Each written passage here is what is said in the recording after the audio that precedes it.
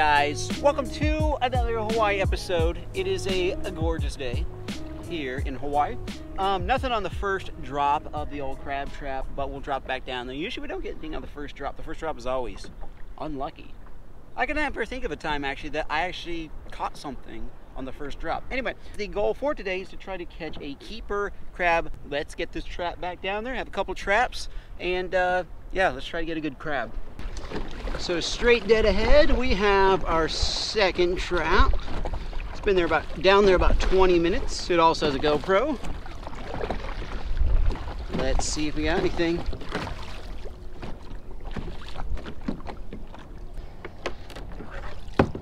Nothing. You know what we have here, guys? We have an old piece of chicken. Look at that. I threw an old piece of chicken in with this fish stuff because uh, I thought it might be good for bait, old chicken. So I'm gonna add that to it. Actually, before I add that to it, I'm gonna try to take this spike here. I don't have a knife, but the flesh of this fish is really soft. So I'm just try poking it a few times to try to get more of those like juices released.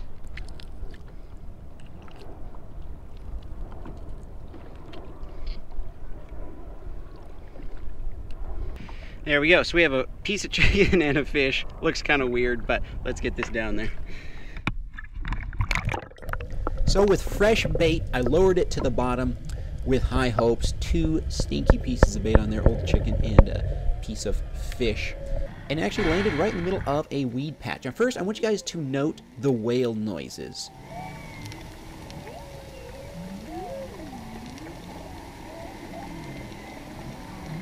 That is not fake. I did not dub that in. I think when the camera's close to the bottom, it picks up the whale noises. It's like extra loud because it, it like boomer it, it boomerangs off the bottom, so to speak. And so you get some really cool whale noises that way. And we have our first um, curious fish of the day. This is a little puffer fish. And when I was younger, whenever we'd get around, uh, this is all pre-YouTube days when I was like a teenager and we first started fishing um, out away from shore we'd always catch these little pufferfish whenever we get around the weed patches there. You see two of them coming up. And I guess they just live uh, in the little underwater forest there. And they're really funny looking. It looks like they have little beards. And I've never seen them get bigger than that. And apparently they're an aquarium. You can, they're aquarium fish. In fact, I think all pufferfish are kind of potential aquarium fish. But they don't get very big. And they're hilarious when you, when you catch them and you pull them up. They actually get the size about the size of a baseball when they inflate. And it's it, they're really, really funny looking then.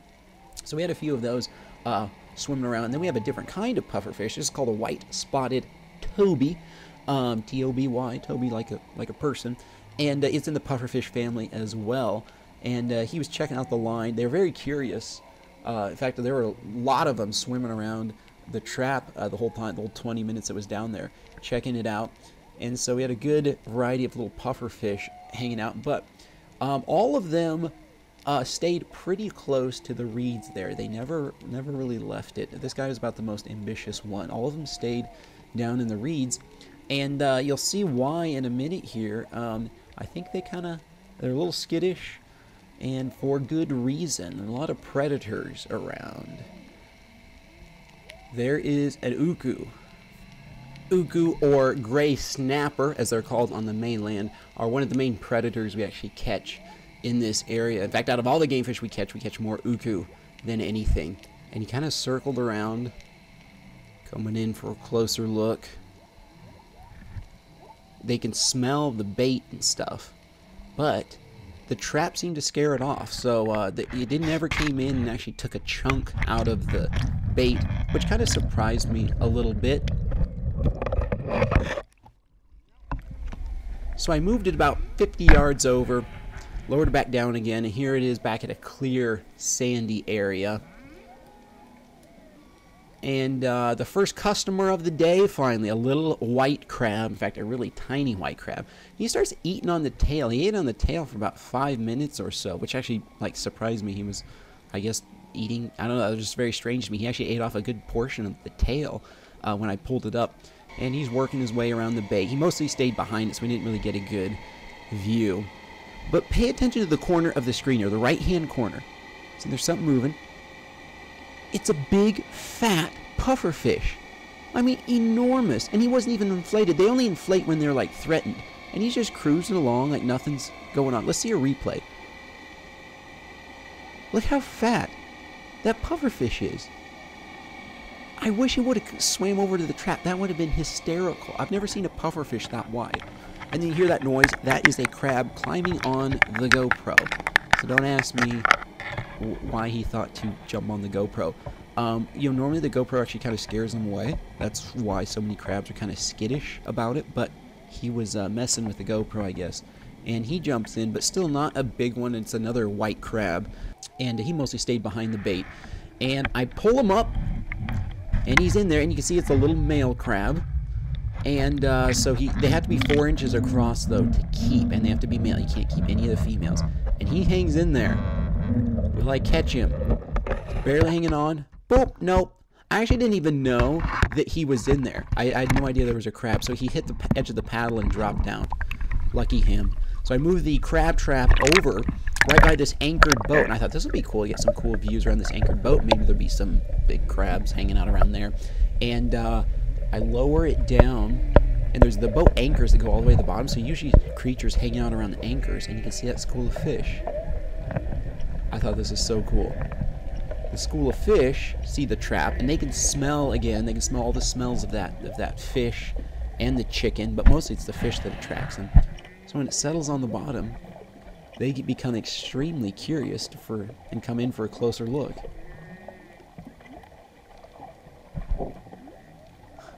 It's a school of uh, well, on the mainland we call them trevally jack trevally but uh, in hawaii they call them papio and these are baby ones. They can actually get giant. You know, they get like 100 pounds or whatever. But a school of small ones. And I really was hoping that they would come in for a bite. Like, that'd be cool if they just tore up the piece of bait there. But they're a little bit scared of the trap. And I'm wondering if I left the bait out for a little bit too long. So, like, rotted fish is really, really good for crabs. Uh, or kind of fish that's starting to turn is really good for crabs. But these, uh, these fish only like fresh stuff. So they were really curious and they swam around it, but none of them actually swooped in and took a chunk out of the fish, which would have been cool. So I think next time I'm going to try to get more uh, like fresher fish. And that would be really cool to like start a feeding frenzy uh, in a you know, a fish in a crab trap. So I moved it one more time to a different spot. And in fact, I only moved about 20 yards over from, from that spot, near some uh, rocks that were down there. Thought maybe it'd change my luck. Uh, in fact, you can still see some of the uh, the papio. Those are actually those fish that just passed are actually called leatherbacks, I believe. But there's a papio, uh, so still some of them hanging around. But then you also had the uh, traditional reef fish that usually don't leave the reef. They don't swim around the sand. They stay close to their rocks and stuff. And uh, you can see them in the background there, chomping on all the rocks and everything. But none of those dudes swam over to it uh, to inspect. Again, fish, especially the Hawaiian reef fish, like fresh I like fresh fish. And so I think I'm going to switch up next time, though, and put some fresh stuff in there instead of, uh, you know, this fish had been left out a little bit and it was frozen for a long time. And I think if I do that, we'll actually have a good mix of crabs and fish coming into the trap and uh, we get some cool views that way. You can see them all. You know, reef fish are the worst offenders when it comes to tearing up the reef. In fact, look at this goatfish in the back. They have, they have these whiskers. They're real stiff that they used as like uh, prods, and they chomp down on the coral. They dig through the sand, and this dude's they're like a little little plow underwater. They just stir up everything, and they just they're trying to unearth um, little crabs and stuff like that.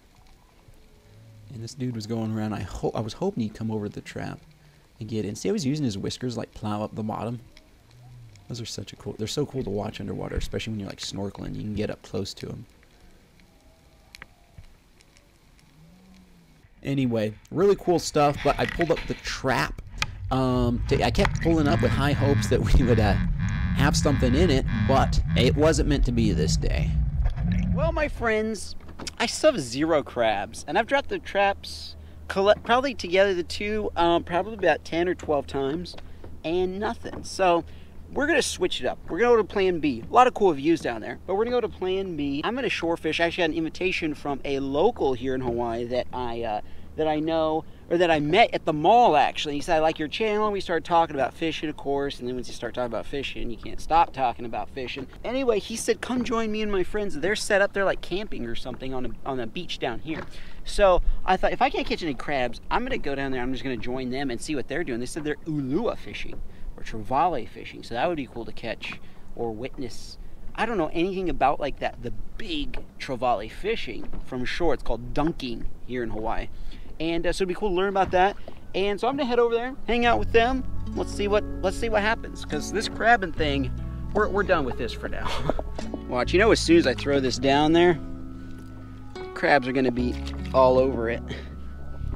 All right, my friends, we are on our way down to a spot. I'm really excited to see this spot because I've never been here before. So, new fishing spot, new guys to meet, new locals, new friends new ways of fishing. All right, oops, there's a car coming. All right, I came to this spot. I, so I was just driving and I thought, anyway, there's a, the reason why I stopped at this spot, so I'm not actually sure if this is where we're supposed to stop.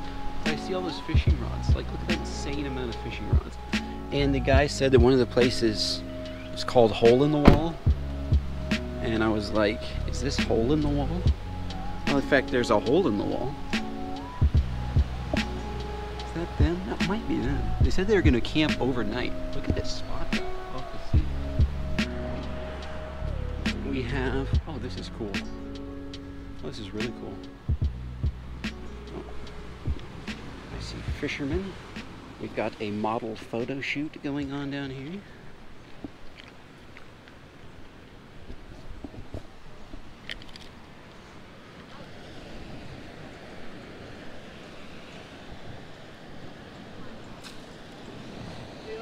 I've only met this subscriber once, so I can't remember.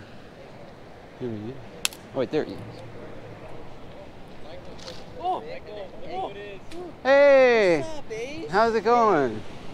Thanks for inviting me, man. Yeah. Good to see you. Trying to do some fishing. Wow, this is quite the spread. Right, right. Like, are those you guys fishing rods too? Yeah. Sweet, sweet. Wow, are you, are you gonna make, you gonna make a fire too? Oh, dude, this is sick. Hello. What's your name? Nathan. Nathan. Nice to meet you, Nathan. Nice to meet you too. Colby. Colby. I might not remember if his name's Colby I'm Nathan. Nate. Yeah. So Nate Nathan Colby. What's your Jay? Yeah. Cool. Wow. I didn't know the spot was down here.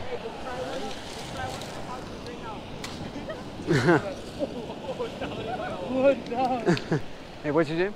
Zoran. Zoran? Yeah. Nice to meet you, Zoran. Um, Cool. I didn't even know this spot was down here. Is this a mostly like a local hangout kind of a thing? Yeah, I kind of Yeah. know about it. Yeah. I didn't. I've driven by this a bunch of times. Didn't know it was here. Yeah. Dude, I like this. Big fire, nice spread here. I'm not going to stay the night, but I thought I'd just come hang out with you guys for a while. Hopefully, an ulua strikes while I'm down here. That'd be really cool to like witness that whole thing. So. Oh man, guys, this is so cool. And we got the tide coming in. Look at that big wave. Wow. I'm going to stay out here for the beautiful sunset, and uh, probably probably until it gets too dark for the cameras to see. But in the meantime, I mean, look at this view. Can't beat this. Unbelievable. I would really love to see a big Ulua strike one of these though. What do you have for bait on a lot of these? Uh, tako. Tako? Okay. Yeah. Do you put like a whole tentacle on or a whole tako or? Like a whole tentacle. Okay. Yeah. Is that the bait bucket? Yeah. Yeah. Oh, that's cool. So you have some crabs in there. And then, the, what is it? What are the fish called? Ah, kupipi and aholehole. A holy holy. Aholehole. You know, guys, this is that one we ate in that first episode. We tried eating one of those. And then this is like a saltwater bluegill here. Anyway, you guys can see him down in there. Cool. Nice. But the main bait is tako. Do you guys usually pour the concrete like rod holders yourselves? Or do other people do you actually have you like poured these before or somebody else Uh, come not along me, and but I've known people who have. Okay, that's really cool. So guys, they pour a concrete rod, rod holders right in the rocks. You just leave them here, and any fisherman that comes along can use them. And they just have a ton of them all along the rocks there. Cool. The sun is just going down behind the horizon there. Oh man, I'm excited. So guys, this is Michael. This is the guy I was telling you about that I met in the mall. Check out his uh, channel in the description. I'll put a link to it. And he's gonna cast one of these baits out there. A slider rig. So guys, all it is is you have this big sinker here. It, it anchors to the bottom. And then we clip, and they cast out there, and it's supposed to hook on the rocks on purpose. That's why it has the wire. So you try to get try to get snagged, and then uh, you just slide baits. You clip baits on and attach to the line and slide them down. All the stuff that you saw in that bucket there, and as well as the octopus. And that's basically what slide bait fishing is. Yeah. Oh, that's awesome. Yeah, guys, it's kind of damp, so it's having a little bit of a hard time Yeah. catching, but Oh, right there, right there. there we go. Still soup under it Now we're cooking. Oh. Nice. There we go.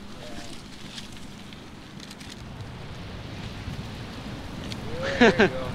That's hot. Oh, that's hot. That is max hot. oh, that's so warm.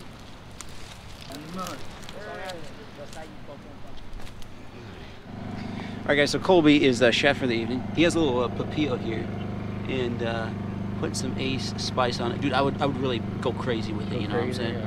Like coat it real. Yeah, there we go. Now, we're, now we're that's the speed we're talking about. He's put some Ace spice on it, and uh, we're gonna fry it up. Guys, look at this spread they have here. So they've got they got the fish that they caught, and then they have a frying pan on a fryer. You got a boom box right here. You got a generator on the other side. You can hear the generator. Wait, was that? What was it? I heard a bell.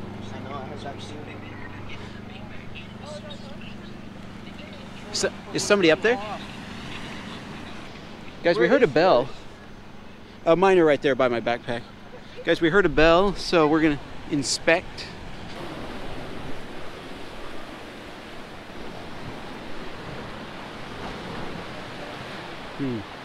Nothing's ringing right now, guys. All right, so back to the table. Uh, we'll uh, we'll keep listening for bites, guys. But we got a couple papio up here. Cook them in a little oil. Start it up.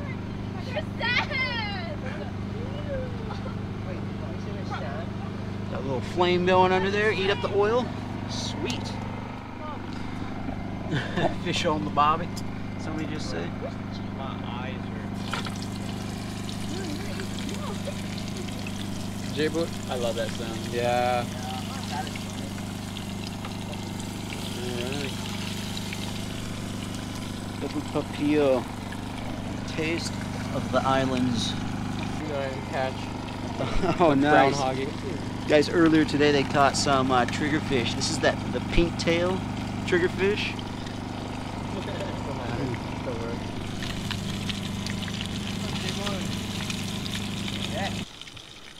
Oh, you guys ever flip this? That's why I don't know in the time. If I may do the honors, I'm gonna put I'm gonna put some seeds on this pink tail triggerfish, guys.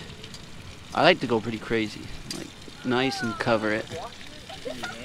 That's the hoggy. Uh, dude, that's a fat fish right there. Oh, I don't like put this thing close. There There you go. we go. Oh, J-Boy, I don't know if you like move your speaker. Good.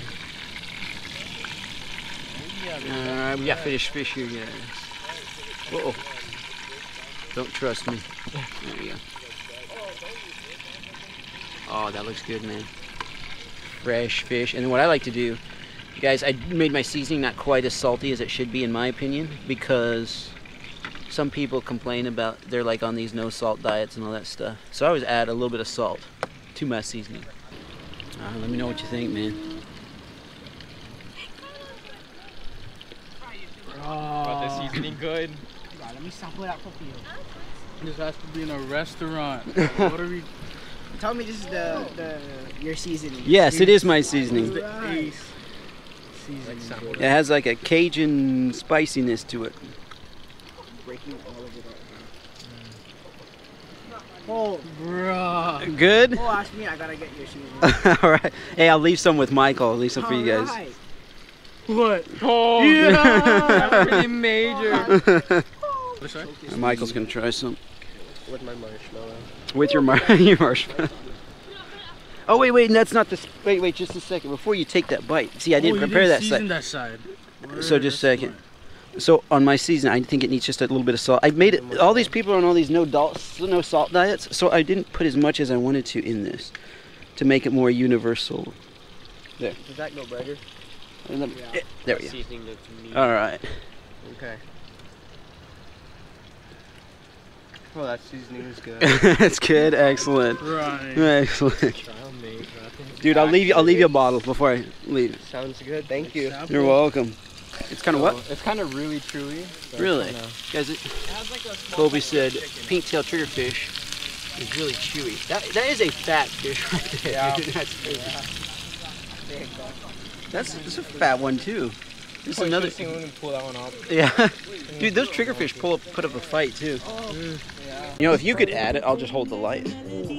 I guess we have to trigger a fish. So how much do I put uh, dude, just just a light sprinkling. It doesn't have to be a lot because there's already a little bit of salt in them. Yeah, just a little bit more. There we go. All right, pink tail triggerfish. Dude, if you want to dig in first, No, oh you. I've tried this before. you tried pink tail. Oh, okay, okay. I'll give the camera to you. Then. Hoggy is what you guys call him. Yeah. Oh yeah, it's like Quick chicken. Tough. it's tough. Yeah, Yeah. that's Like- so interesting. It's, you gotta chew a lot. Yeah, it's gonna be really chewy. I can already tell. the flavor's good. Yeah. It's like steak or something. It's like really thick. Tender. Mm-hmm. It's like That's an so- overcooked chicken. Yeah. Yeah. That's, Yeah. that's probably one of the Bravo. chewiest fish I've ever eaten. Right? Guys, this is delicious, but chewy. It's a cool combination. You're getting all fish flavor, but chewy. nice. Guys, I'm not sure if we're on or not. Guy's reeling in his line. We might have something. Dude, are you on?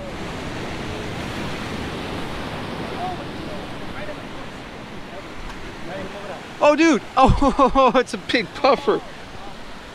Oh, oh shoot. Oh, dude, it's a spiky puffer fish. Whew. Oh.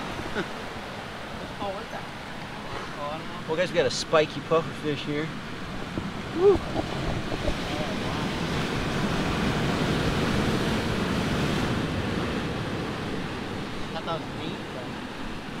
No, I wouldn't came. I just threw in bait too. You just threw it on. Oh, wow. Yeah. Well, there's first catch of the evening.